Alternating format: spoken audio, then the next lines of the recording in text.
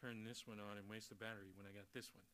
So, um, you know, so as we come into this and as we uh, just lift up everything, um, and, and remember this is third Wednesday, so if you want to get up, get you something to drink, um, go get something, do something. It's a bit more relaxed, um, but it's also one of the things that we're going to share.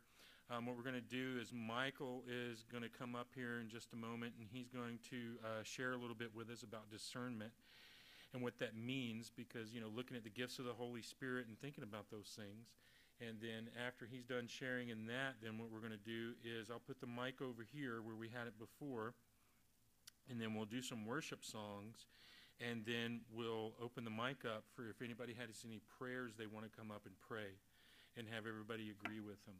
And then we'll do some, you know, and then um, at the end of that, then I'll, I'll read a psalm and then we'll, you know, we'll, we'll do some more worship and then we'll open the mic up. And if anybody wants to come up, have a word from the Lord, have a, their own psalm or scripture that they feel the Lord's really been wanting them to share with everybody, then we'll do that.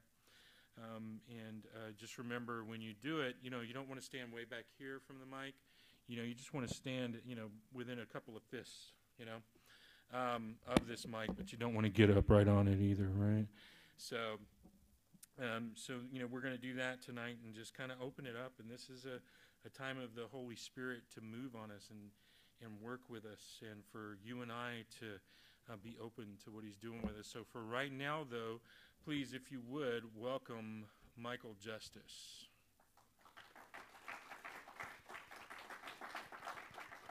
Golf clap, golf clap. Okay.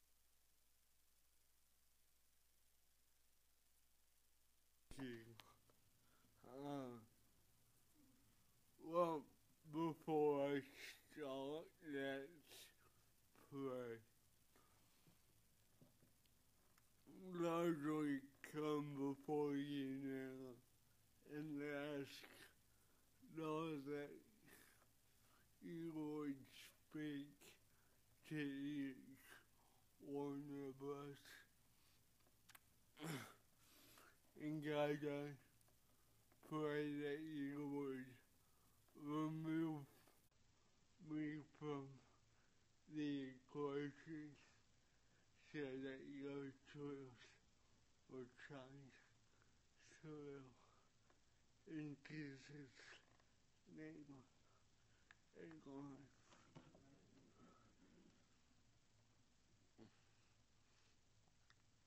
So, in looking at discernment,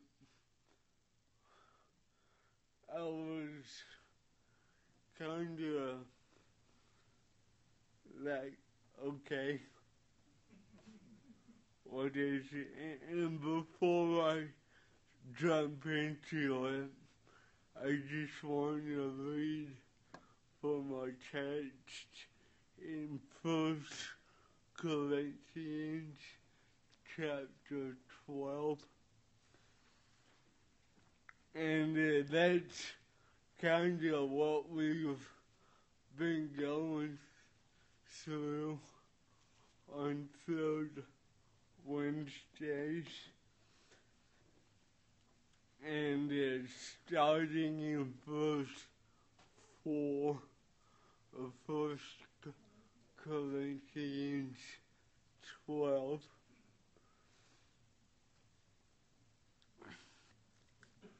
and it says there are diversities of gifts, but the same Spirit. There are differences in ministries, but the same Lord. And there are diversities in activities, but the same God works all in all. But the manifestation of the Spirit is given to each one for the profit of all. For to one is given the word of wisdom through the Spirit, to another the word of knowledge through the same Spirit, to another faith by the same Spirit, to another the working of the gifts of healings by the same Spirit, to another the working of miracles, to another prophecy, to another the discerning of spirits, to another different kinds of uh, tongues, to another the interpretation of tongues, but one and the same spirit um, works in all these things, distributing to each one individually as he wills. And so, what does it mean to discern? Well, in the Greek, that word is diakrisis. And the translation is a judicial estimation or to make a judgment, to separate into groups. And we are called to do this in several places. Um, in First John chapter 4, man, we're going to be turning a lot tonight, so get ready. but in First John chapter 4, beginning in verse 1, John says, Beloved, do not believe every spirit, but test the spirits, whether they are of God, because many false prophets have gone out into the world. By this you know the Spirit of God. Every spirit that confesses Jesus Christ has come in the flesh is of God. And every spirit that does not confess that Jesus Christ has come in the spirit is not of God. And this is the spirit of the Antichrist, which you have heard was coming and is now already in the world. So right there we see that we need to separate out those who confess Christ and those that don't.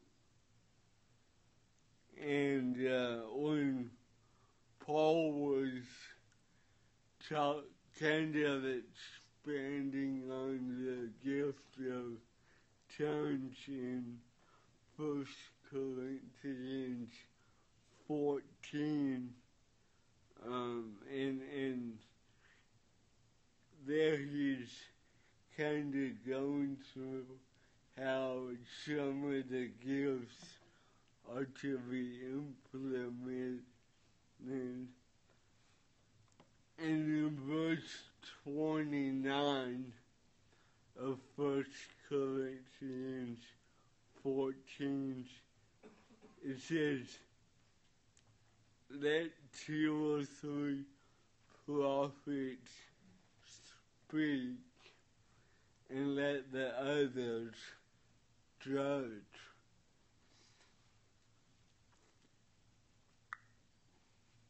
We need to make sure that whenever anyone stands up here that they speak the truth. Myself included. Um, don't believe anything I say just because I say it. But you need to make sure that it lines up with the Word of God. And so we see that we're called to do it. But how does it work? What what happens? And so I'd like to give a few examples. In Acts chapter 5,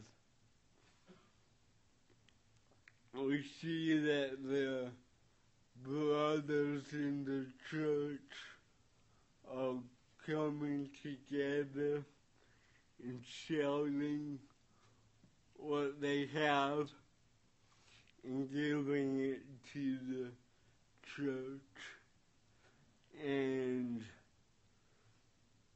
Ananias and Sapphira uh, participate in that.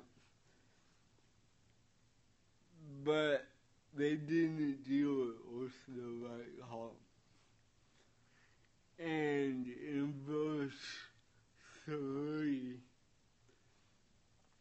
the Spirit speaks through Peter and says, Ananias, why has Satan filled your heart to lie to the Spirit and keep back part of the price of the land for yourself? And if we look at chapter 5 up to this point, there was no investigation into what had happened. And, and so it's clear to see that the only way Peter knew was by the Spirit of the all-knowing God. Um, in Revelation chapter 2, you know, that's where we see the seven letters to seven churches. And in that first letter, uh, the Lord is write, writing to Ephesus in um, in verse two. He says, "I know your works, your labor, your patience, and that you cannot bear those who are evil." and you have tested those who say they are apostles and are not, and have found them liars. And this is uh, part of the letter where Jesus is commending the church and saying, you know, it's good that you've been diligent to make sure that what these um, what what these so-called apostles say and whether or not it's tr- true. Um, and also in Acts 17, I told you we're going to be turning a lot. Um, Paul is uh, talking about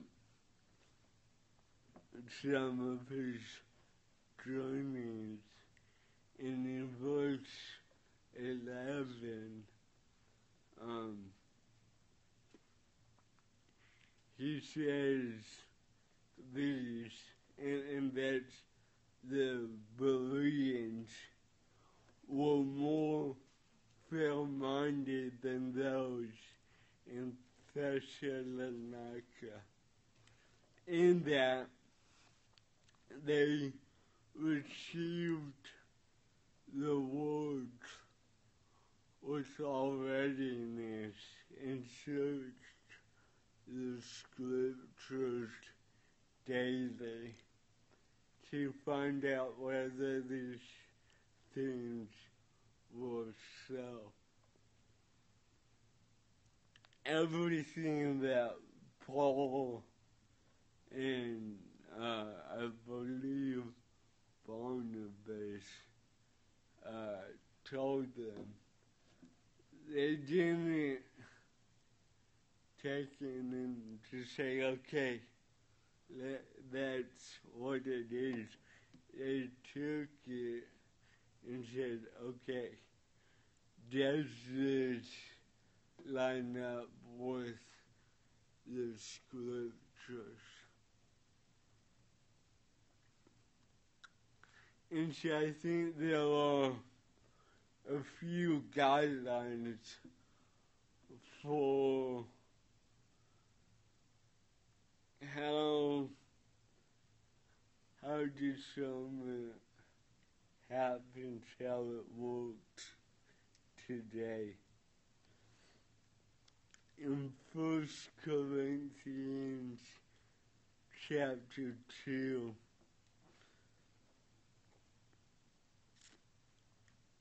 We see that discernment comes by the Holy Spirit.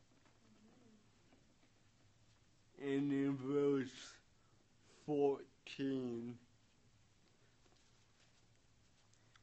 Paul says, But the natural man does not receive the things of the Spirit of God, for they are foolishness to him.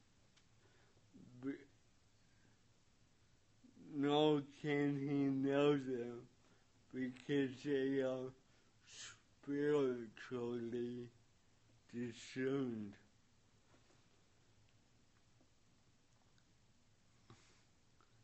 The only way we can exercise this gift given from God is by the Holy Spirit. And uh,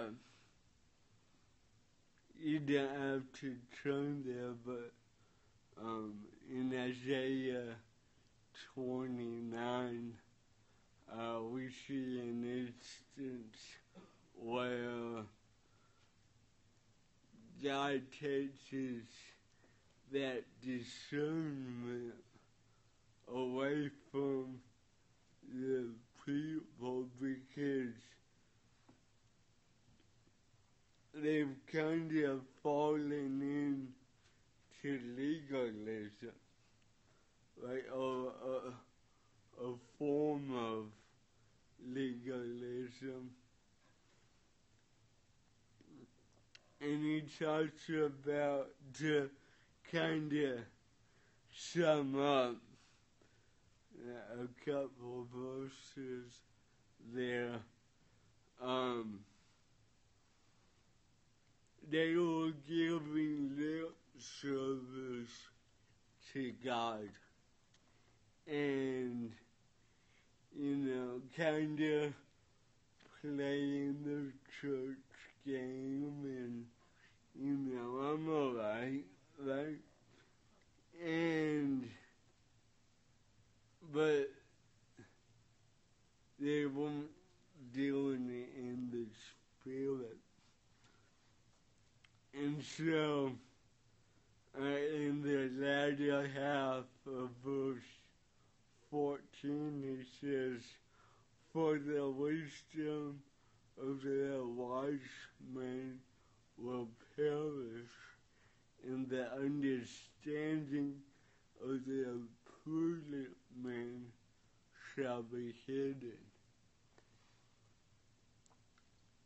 So just as the Holy Spirit distributes the gift as He wills, He can also take it away.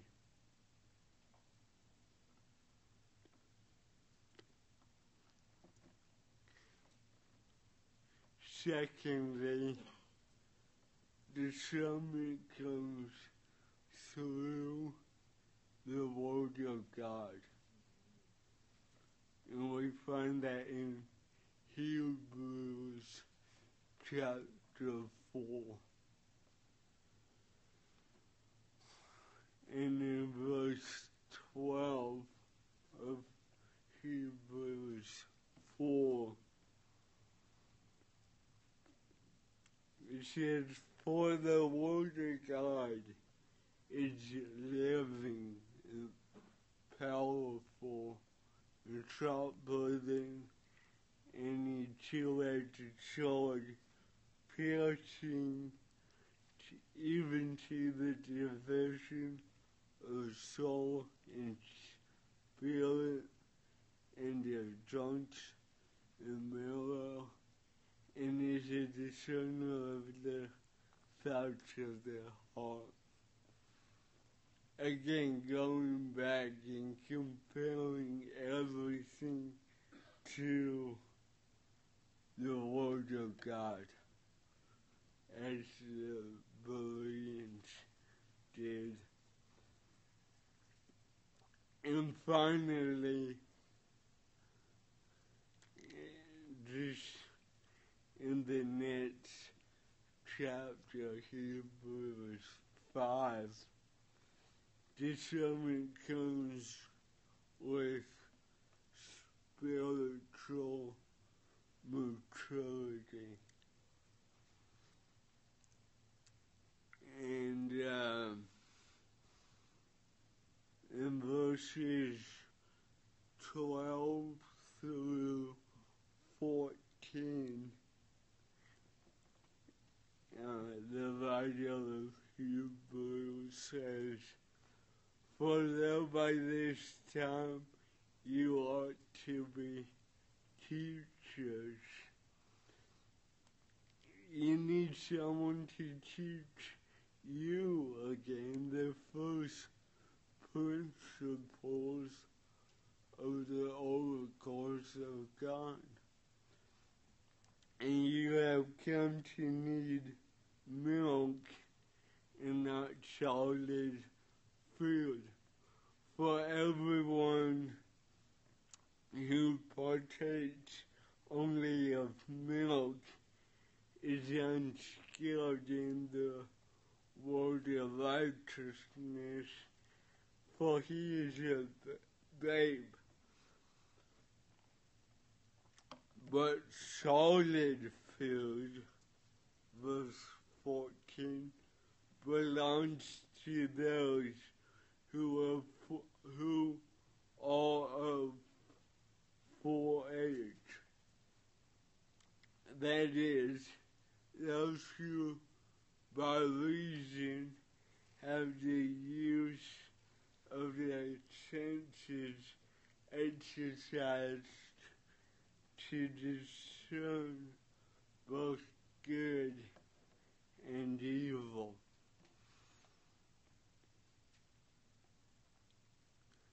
To effectively be able to discern between spirits, between just what people say. We need to be continually maturing in the Lord. And to do that, we need to be actively pursuing Christ and determined to live like He lived and to be led by His Spirit daily. Let's pray. Oh Lord, we thank you for this time and for your revelation to each one of us. And I pray that you would continue to minister to us tonight. In Jesus' name. Amen. Amen. Thank you, Michael.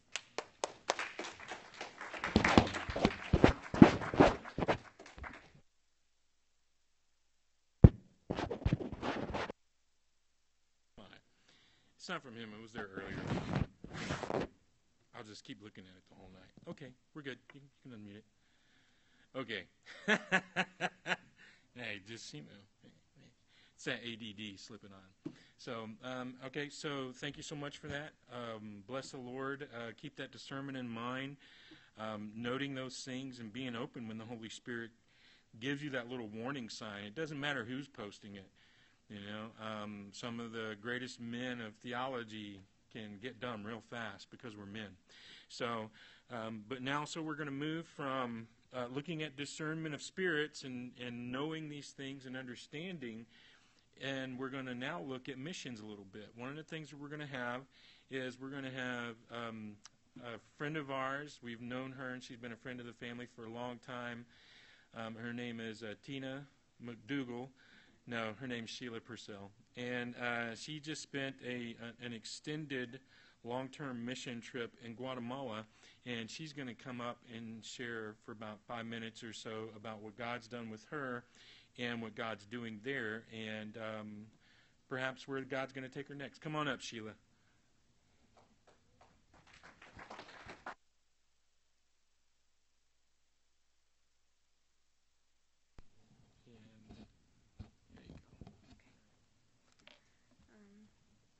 going to start out with prayer. Dear God, um, I thank you for tonight and thank you for this opportunity to be here and to speak in front of everybody. And I pray that you would um, speak through me and that you would be glorified and only you would be glorified, Lord. In your name I pray, Jesus. Amen. Okay, so um, when I went to Guatemala, I was originally only going for six months. And about two and a half months into that, um, the pastor in Guatemala asked me to stay an extra six months. At first, I didn't want to. I really wanted to come back to Houston. And, um, but after a few weeks of praying about it, like, God had just placed um, a love for the people there um, in me.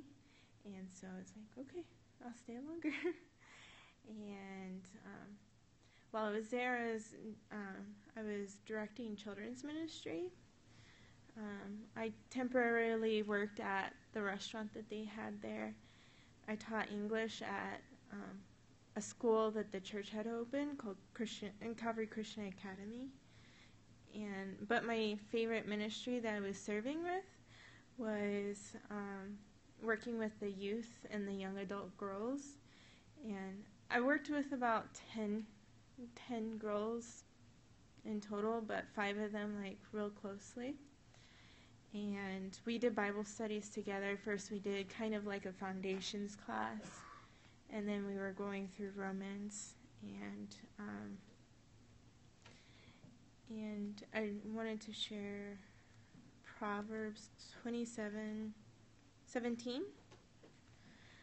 As iron sharpens iron, so a friend sharpens a friend. So I I didn't go there just to just to pour into people there like God had it for iron to sharpen iron. And in the time that I was there, I I got to draw close to God like I never thought was possible. I had seen it in other people, but I didn't I had never really experienced it myself. And just being able to see God's love and his patience through us sinners and that he would give me the opportunity to go on a mission trip and after not being a, a good person, you know. Um, in Guatemala, prayer needs that are out there. Uh, well, first, I want to share that the Calvary in, in Guatemala, they have, over the last year, they have extended their sanctuary. They've built a youth ministry or youth building, and um, and they started the school this year. So God's God's doing a work out there. And then so like prayer needs for for Guatemala in general is their political system like any political system in the world, but um, in Guatemala it really seems like the leaders that they've had is there just to get money, and they they really just um, hurt hurt the country.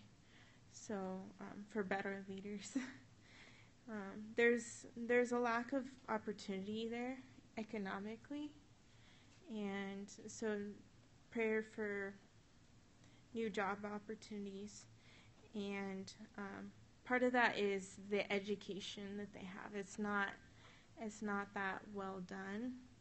Um, a lot of the teachers there think that um, if they just give their kids more and more homework, but really it just makes the kids tired and they can't do their work well, and so it's really hard for them to um, get a good education there, even if they can afford it.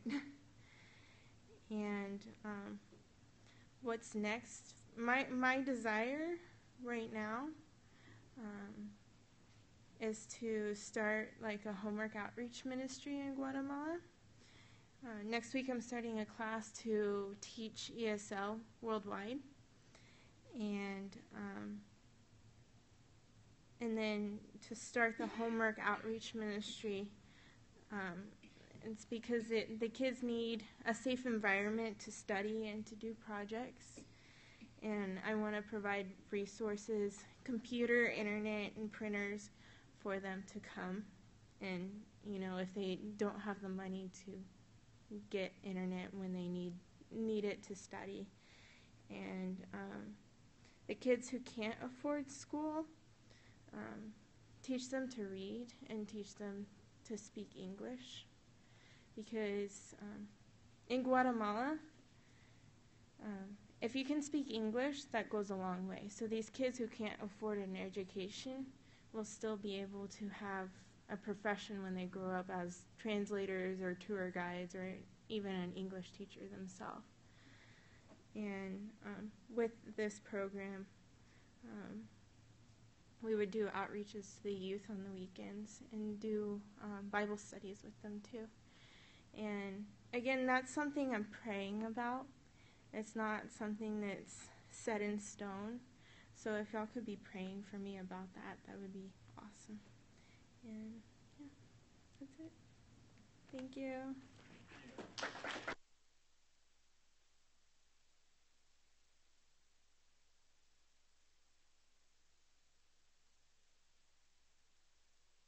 Now is um, I'm going to pray, and as I pray, the band is going to come up, and uh, then we're going to worship together, okay? Father, I just come to you right now, Lord, and thank you so much just for this time together, for uh, what you're doing here, and for what you're doing in us. And I just I lift everyone here up to you, Lord, and pray that um, for for everyone, Lord, from Michael to Sheila to each and every person in here, that each and every person would recognize and know uh, that you want to bless them, you want to use them, you have um, great things in store and in mind for each and every one of us, Father, that we need not fear, we need not wonder, um, because your plans for us are good. You, you, Lord, seek to move upon us and to use us for your glory. And Lord, sometimes that glory doesn't look exactly like what we think it should. And Father, when it doesn't, help us to see with your eyes, to see with your time, to see with your heart. Not out of a selfish desire or other motivations, Lord, but lead us by your Holy Spirit that we would be broken for you. We lift all these things up to you. In Jesus' name, amen. If you would